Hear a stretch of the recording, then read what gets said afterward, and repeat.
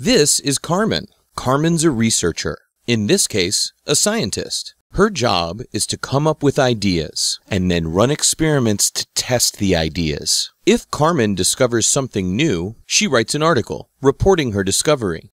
She then sends the article off to a scholarly journal, hoping they will publish it, and waits. After a few weeks, or months, she finds out whether her paper is accepted or rejected. If the publisher accepts the article, they include it in the next issue of the journal, along with several other articles by other researchers. Then they publish the journal and distribute it in print and online. Libraries, like this one, receive the journal because they've paid for a subscription, though nowadays it's usually an online subscription. Since the library has a subscription, it has access to many articles and issues from this journal. The library also subscribes to hundreds or thousands of other journals. Each journal publishes several issues a year, and the library has access to many years' worth.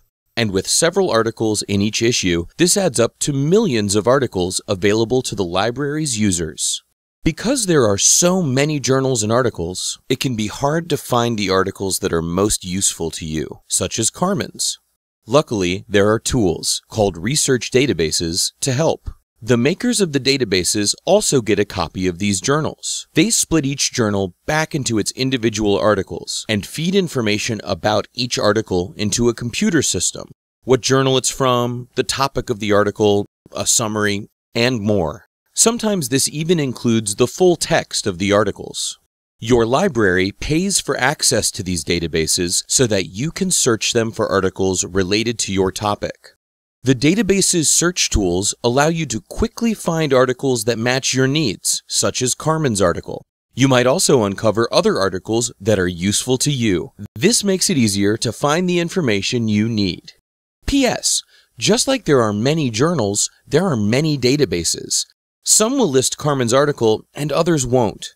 If you're not sure which database to use or about how to find articles effectively, ask a librarian.